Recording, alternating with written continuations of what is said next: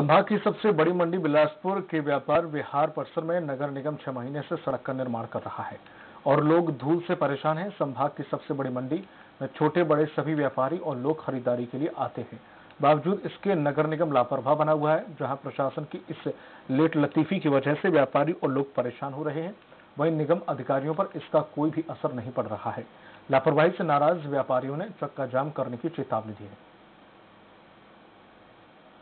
सामने वाले बोलते हैं, सामने वाला फंड के लिए रोना रोता है कि भैया फंड नहीं है तो मैं कैसे काम करूँ? मेन रोड की टोटल ट्रैफ़िक जो हमारे व्यापारी भाई डाइवर्ट हो गई है, उनके चलते आए दिन जाम लगता है। जाम लगने से हमारा जो है सीज़न का व्यापार प्रभावित हो रहा है।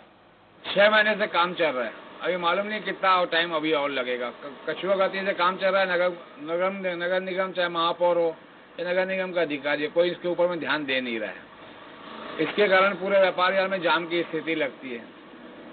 इससे व्यापार बहुत प्रभावित होता है।